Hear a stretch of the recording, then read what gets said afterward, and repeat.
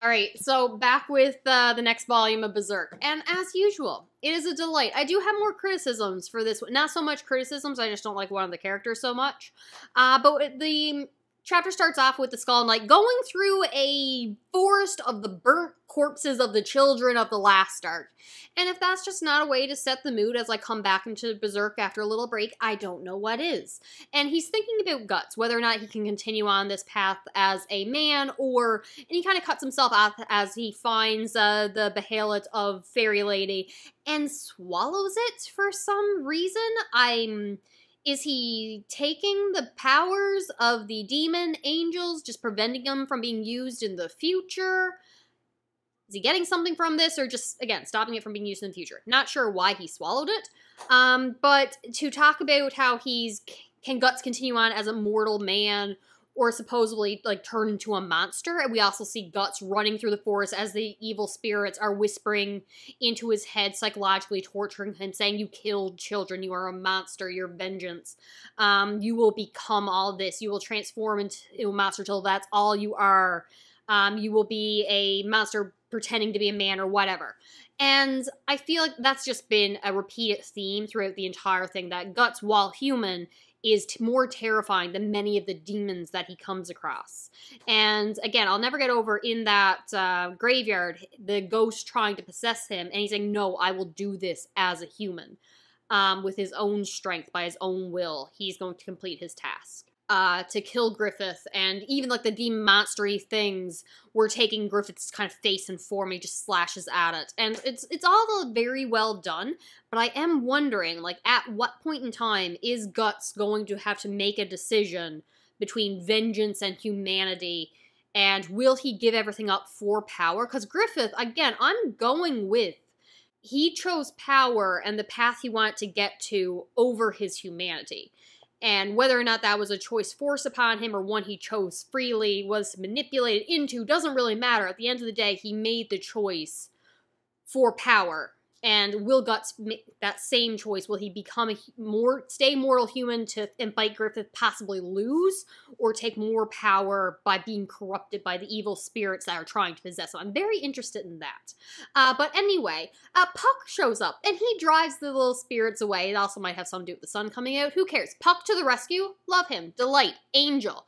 Um, and Guts even acknowledges him calls him by name, basically thanks him, gives him a home in his little side pouch. Before he's been kicking him out, what are you still doing here? No, that's not your house, that's not your bed, that's not your backrest. But now it's just like, no, Puck, that is your home. You can stay there. And it's just, I love, I love Puck. He is welcome. He's a delight. And he's, uh, Puck is learning more about Guts and his past. Uh, later on, there's a vision of Casca and the assault that happened to her, and he understands. He understands Guts' uh, rage and fear more now. Uh, here's when the introductions happen that I'm not so much a fan in. So the Holy Iron Chain Knights people show up, and I thought I would like them. I normally like uh, the religious symbolism in stories. The more heavy-handed with the religious stuff, it, it's more of a delight for me, okay? I go full crazy like religious zealot or make it more nuanced shades of gray struggling with the moral decisions i'm good with both options go to either extreme stay in the middle it's normally a pretty entertaining uh, story narrative for me um, i don't like these guys very much so they're fighting guts first of all the leader lady uh, Farnese, I believe her name is. I could be saying that wrong. I was calling her Fairness the entire time I was reading it. Then I look at her name again, like Farnese, maybe don't know. Um, so she orders him, uh, like, we found you, hack of darkness kind of thing. They definitely think he's Griffith. Um, stand down, surrender. You're covered in the blood of the children of the last village. Why have you been doing this? Why are you causing such mass chaos and slaughter? Not understanding the context. I mean, it wasn't not children's blood on his hands, but they were possessed, turned into evil fairies. Okay, they were long gone. It was just the bodies were still the children bodies but apparently that's not easy to explain. So Guts is kind of just laughing them off when she says, drop your sword. There's any, nothing in the world's going to make him drop his sword. Uh, they're all shocked that he can even hold it, let alone when he swings it and kills five of them all at once. But he's very, very badly injured. Um, Puck is somewhat freaking out in his side pouch, like, oh my god, he can't fight this. And he's kind of right. He's very tired. Um, so they end up getting the upper hand. He uses his um, missing arm as like a club, and of course it's a gun, so that gives him a bit of an edge. Um, the second in command ends up trying to fight him. He's more honorable. Um, Guts knows him from an old story where he was protecting an old man on a bridge. I I want a little bit of the symbolism there. Like he could have just helped the man cross the bridge, but instead just defending him from others who wanted to pass him and slash run him over. So yeah, it would have been quicker to just help the man cross, but I guess letting him cross on his own strength is important to him. Honor, maybe, something like that. Um, but Guts ends up jumping over him to go to quote unquote, I think the like head of the army, head of the snake, take down the the leader, but gets shot with a crossbow, and she ends up accidentally getting him in his shoulder, taking him down because he's already so injured. Um, the people in the army are very much of we want revenge for our fallen comrades, but second in command is just like, hey, they went into battle. This was an honorable fight. To we're here to arrest him, not execute him. Uh, you challenged him. He accepted the challenge. Whoever died died. Like it would be dishonorable to our fallen comrades to sully their memory by acting in such a dishonorable way by killing him. Again, we're here to arrest him. Um, but what I don't like, I guess it's a little bit interesting. They are all like the nobleman's children kind of thing that didn't want to see actual battle, so it makes sense for why they're so inexperienced. But like Farnese is the leader of this, yet she has no experience. This is the first time she's drawn blood. I'm re- really hesitant on how a woman in this time period world got to be the leader of a bunch of noblemen's kids without being able to prove herself anyway beforehand. Like Casca makes sense. She worked her way up. She trained for this. She fought for this. She struggled for her positionings. Uh, she had that connection with Griffith and gave her opportunities to prove herself. But she did prove herself. Farnese Lady, not a fan. Like she's just given this position of power. So I'm wondering how she got to that position of power. More than that, I she kind of goes a little crazy by the end, but that being said, I do like crazy sometimes. So we'll see how I feel better by the end. My first impressions are not positive. So she ends up taking Guts back to her tent where she interrogates him, but not before sending away her soldiers. And they're all like, no, someone should stay to protect you. What if he gets loose? He's in this stock thing. He's got one arm free because he can't go up in the stock. Um, uh, she's saying, no, leave me. This is an order. Well, maybe we should get second in command's guy to come up and be here as well. Why are you questioning me? She's very much trying to assert her authority through words, not actions. Like she doesn't have their respect yet. And she's saying, like, you're questioning me. I'm like, yeah, because you haven't proven your competency yet. But anywho, she starts questioning uh, Guts after they do eventually leave her alone. And it's again a lot of why are you doing this? She doesn't understand anything of what's going on, no idea of the context and the situations. Guts is asking her, have you ever seen an angel before? Or in this case, a demon. And uh, she's like, no, miracles are left to the heavens. And he's just scoffing at her, which is insulting. So she calls the Behelit a uh, pagan ritual thing. And he's like, you really have no idea what you're talking about. She gets so frustrated, she ends up whipping him. And Guts, pain tolerance of a freaking boulder, like doesn't even feel it, um, is not responding to her assaults. So she just continues to attack him more, showing frustration, showing inexperience, showing that he's gotten under her skin until second in command guy, bridge knight guy, shows up and talks her down, saying, You can't be just be doing this like this. So I'm just trying to get some questions at him before we send him to go be burnt by the holy whatever. Um, she ends up praying to a statue thing. Apparently, it's a hawk in flight. I'm wondering how that might play into symbolism because there's like hawk imagery with Griffith. I thought it was a whale tail for the longest time. Um, so Guts goes in his cage, and again, beautiful, darling moment because Puck to the rescue again has stolen the keys and wants to let Guts out.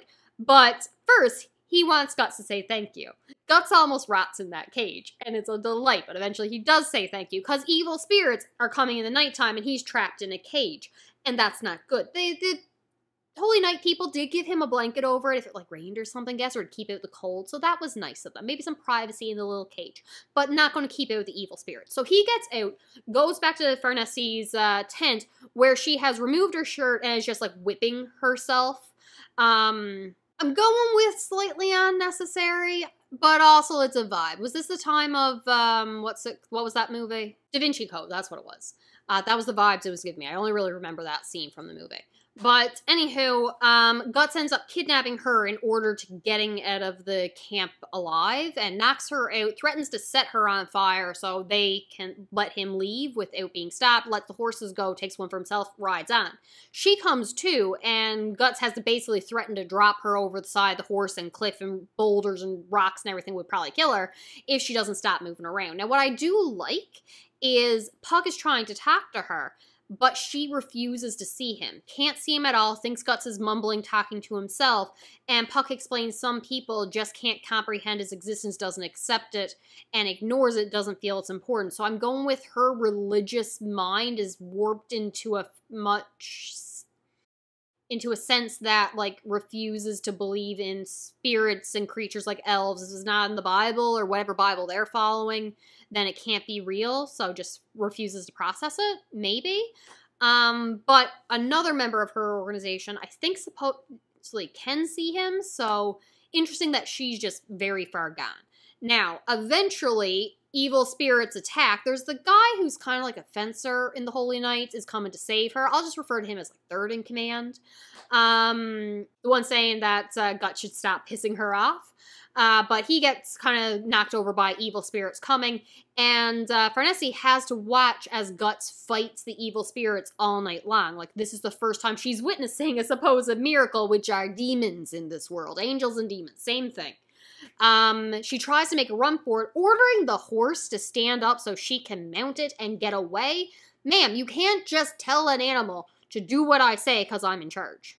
But of course, Horse has been possessed by a demon and is about to assault her. And that is putting it nicely because, my God, the imagery is very disturbing. It creeped me the hell out. And I'm like, yep, that's terrifying. That's absolutely terrifying right there. Um, Guts, however, has like a flashback to Casca being assaulted and is just like, no, not having this, not on my watch, not when I can do something about it, never again. Uh, easily, thankfully, thank God, kills the horse. I did not need to see her assaulted by a horse. Um, and she is absolutely losing her mind watching Guts uh, fight. But eventually, Sun does come up and she's about to regain a semblance of reality again, only to hear the voices of those spirits whispering in her ear, playing on her insecurities, playing on her fears, playing on what she sees as sins, as she's think as the voices in her head is telling her that oh you are attracted to this man you are attracted to the pain and pleasure and when you were hurting him you were getting enjoyment for that. And it's slowly creeping into her. And she's completely naked at this point in time. I think the horse ripped off her pants. Yeah, she's completely naked. Um, still tied up though. But the voices convince her that it's a good idea to try to seduce Guts by straddling his sword as she tries to choke him, and then tells him to raise the sword up to slice her in half straight up the middle. Listen, I watched the I watched Terrifier, okay? The scene at the end it was just a scene. It was a scene. No issues. No issues. How how did those panels give me physical pain? I'm like, nope, nope, this hurts. I can feel this one. I can appreciate now when like movie characters like get kicks between the legs and the guys all feel that pain. I'm like, yeah, it's very funny. Her her straddling the sword saying, raise it up and slice me in half. I'm like, yep, nope, that is that is an uncomfortable feeling. So, very disturbing. Thankfully, thankfully, the sun rises to its full extent and uh, gets rid of those uh, creatures from her mind, and she's Guts is able to get her off her. But that's when uh, Fencer Buddy, third in command, I guess, shows up. Um, and surprisingly not confused by the situation, does not think she has been assaulted, I don't think. She, however, is telling him to kill Guts because defend, regain my honor kind of thing. Like, does she think she was assaulted or just very upset that she had these desires and put herself and acted the way that she acted just a minute ago? Does she know she was possessed? She gotta know she was possessed.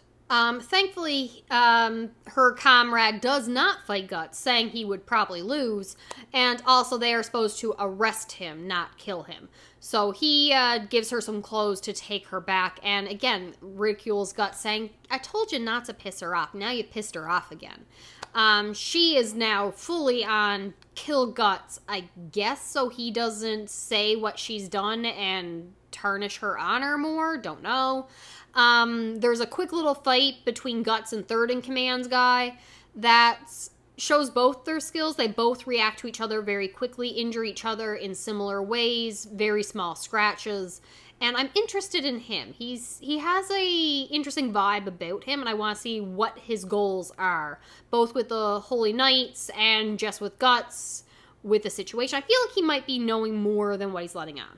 Overall, first impressions of this arc are a little bit more negative than previous arcs, but I'm easily won over by crazy religious cults like people, or even just religious people that eventually realize there's gray in the world and you can't just strictly follow the rules in the whatever Bible they're following. I'm good with both storylines and easily won over by either one. So excited to see where this continues on. I like that Puck is learning more about guts.